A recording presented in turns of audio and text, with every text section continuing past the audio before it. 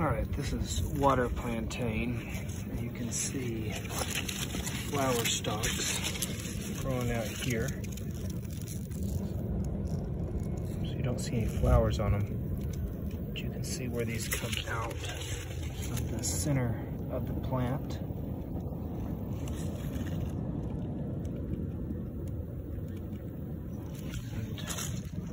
And get quite large the seeds, once these dry out, will be inside those.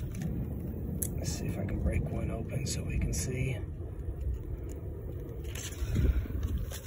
Oh, here's a good example of the flower stalk.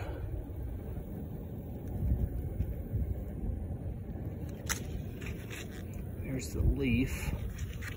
And you can see this comes out of the center. That one's just been stepped on. Same thing here. There's one growing out of the center. Here's a huge one.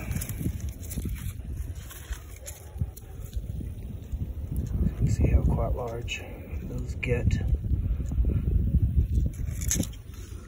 There's another example. There's a bunch of it out here. Oops, there's one with flowers on it.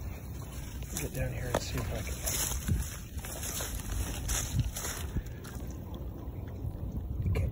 of the flower.